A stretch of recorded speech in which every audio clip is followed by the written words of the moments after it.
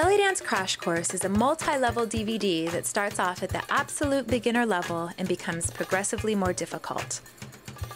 For the beginner level, I provide a comprehensive breakdown that includes the physiology of the movements, safety tips, and common mistakes.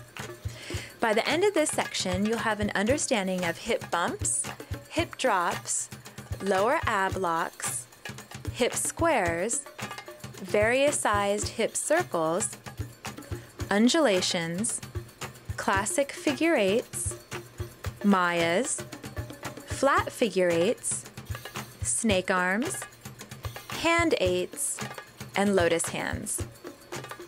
For the advanced beginner, each movement is extensively drilled so that you can get it into your muscle memory. During the drills, you're encouraged to work at your own level as you're gradually shown more difficult variations.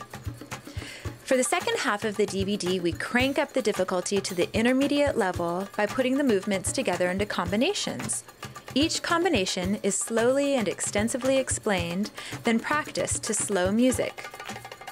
And once you've mastered the combination slowly, we practice it again to a lively beat.